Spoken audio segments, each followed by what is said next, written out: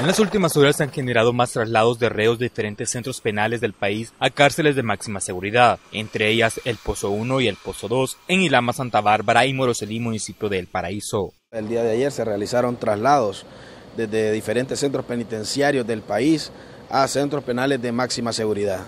Se realizaron alrededor de 95 traslados de los centros penitenciarios de Trujillo, San Pedro Sula, Choluteca y Tegucigalpa.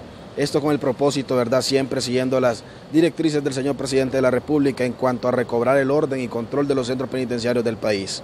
Tenemos que recordar que estos centros penitenciarios de máxima seguridad han sido construidos para personas de alta peligrosidad y alta agresividad y eh, esto es lo que se ha estado realizando para tener control y orden en los centros penitenciarios del país que se ve reflejado en seguridad al exterior de los centros. Estos movimientos necesitan un verdadero análisis para dar paso a las acciones que realmente necesita el tema de seguridad en el país y sobre todo no ver estos operativos como conductas populistas, asegura esta ex fiscal. Debe ser eh, también producto de un análisis exhaustivo y debe también preverse si esas cárceles de máxima seguridad eh, realmente van a generar una rehabilitación.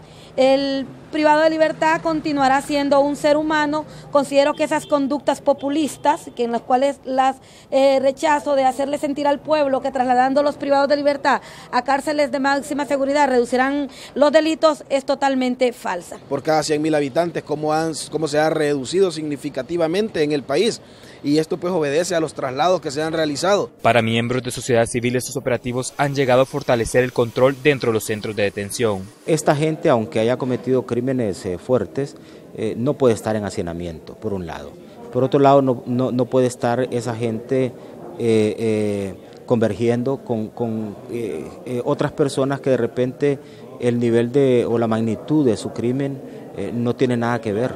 y, terminan estos prácticamente empoderándose de ellos y aleccionándolos para convertirse en verdaderos delincuentes. Entonces yo creo que eh, por incluso la influencia que esta gente estaba teniendo desde las cárceles hacia afuera, era necesario ya dar este paso y, que esta gente entrara eh, en otro nivel de reclusión. Según estadísticas del Instituto Nacional Penitenciario, ya suman más de 3.000 reos que guardan prisión en cárceles de máxima seguridad, acciones que podrían continuar en los próximos días, llegando a reflejar bajas en homicidios en el territorio hondureño. Desde Notifides le invitamos a fomentar una cultura de paz. Con imagen de Milcar Sánchez les informó Josué Varela.